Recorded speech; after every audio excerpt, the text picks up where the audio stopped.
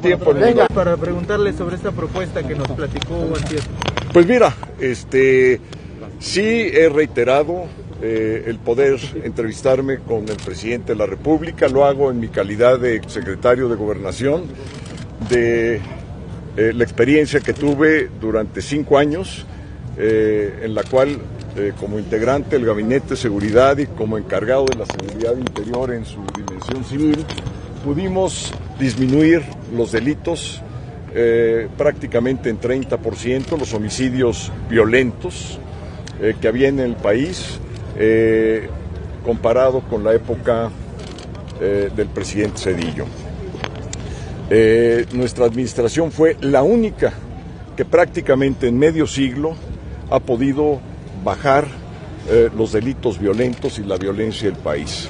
Entonces yo quisiera explicarle al presidente en una hora, no es porque vaya yo a resolver el problema en una hora, que no se vaya a malentender, pero quiero explicarle al presidente en una hora a grandes rasgos cuál, fue la estrategia que hicimos y quiero aportarle mi experiencia de lo que yo estoy observando y pienso yo que el tema no es prorrogar o no eh, la estancia del ejército en las calles, porque eh, el ejército tiene que estar en las calles, esa no es la discusión, y tiene que estar porque debe de cumplir las funciones de seguridad nacional y de seguridad interior, y además, por supuesto, estar presente en todos los desastres naturales y hacerle frente con el programa de N3. Entonces, esa no es la discusión.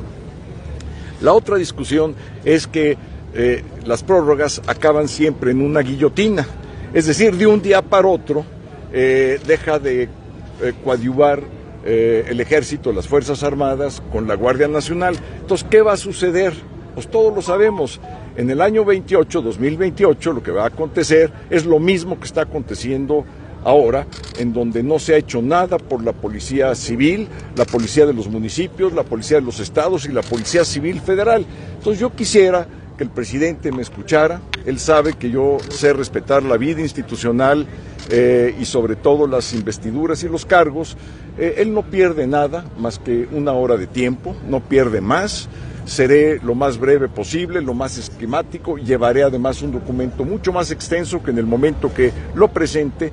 Lo voy a comunicar públicamente a la prensa. Por cierto, quiero darles eh, una nota, una primicia a todos ustedes aquí en Aguascalientes.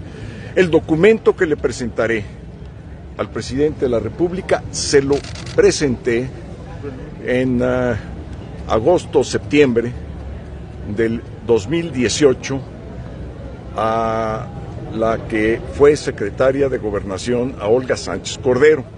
Y le dije, eh, Olga, porque le hablo de tú, nos conocemos de hace mucho tiempo, tú como encargada futura encargada de la Secretaría de Gobernación, quiero que le entregues esto, este documento al presidente de la República.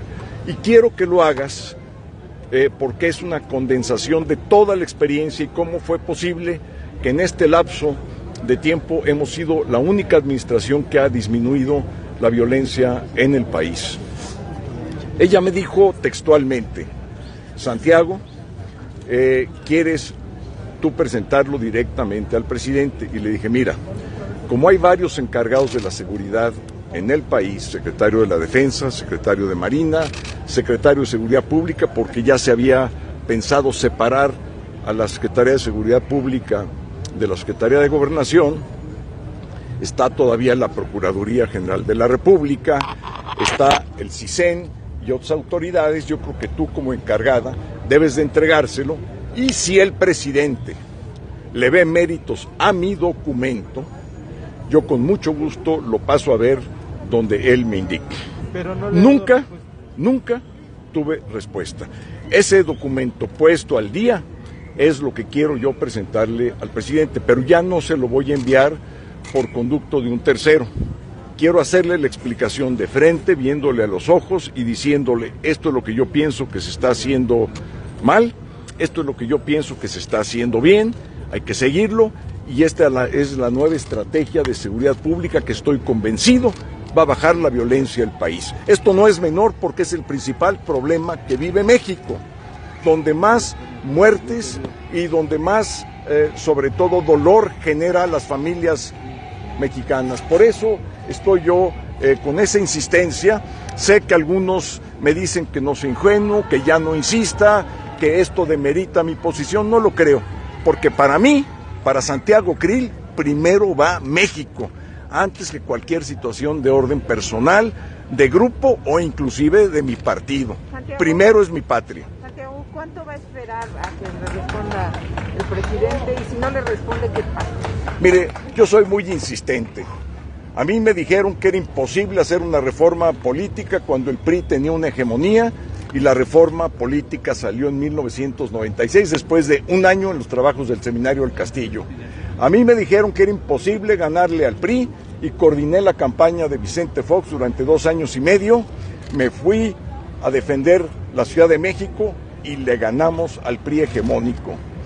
Entonces yo soy de las personas que piensa que la política no es el arte de lo posible, sino escúchenme muy bien.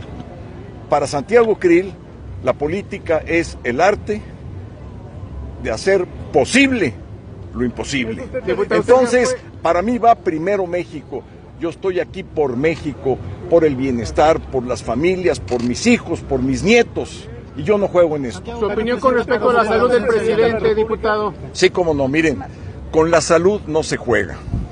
Soy uno de los principales opositores al régimen y particularmente a las decisiones que ha tomado el presidente López Obrador y ustedes lo saben. La última fue el respeto absoluto que pido a la Cámara de Diputados y vieron todos el video. Pero sin embargo, siendo yo uno de los principales opositores del país, en materia de salud, lo primero es la salud. Y por lo tanto, al presidente le deseo que tenga salud y que si hoy no la tiene, que se restablezca. Por él, porque es lo más importante, por su familia y por México. Y además, les digo, como soy creyente, le pido a Dios que le dé salud al presidente de México, que es el presidente de todos los mexicanos. Con eso yo no medro, no voy a hacer política ni absolutamente nada. Que se mejore el presidente eh, si está enfermo. Le deseo lo mejor para él y para su, su, familia y para México en materia de su salud. Que quede muy claro. ¿Qué representa para usted la ausencia de Alito? Eh, no sabía que no iba a venir, pero si viene, yo le daré la mano eh, y lo saludaré como saludaré a todos mis compañeros y compañeras del PRI. Creo en un México unido. Si el presidente quiere desunirnos, si el presidente quiere polarizarnos, si el presidente quiere enfrentarnos, yo busco todo lo contrario. En matemáticas a mí me reprobarían, ¿y saben por qué? Porque yo en política no sé restar y no sé dividir. Lo único que sé es sumar y multiplicar, nada más. Muy bien, muchas gracias. gracias. gracias.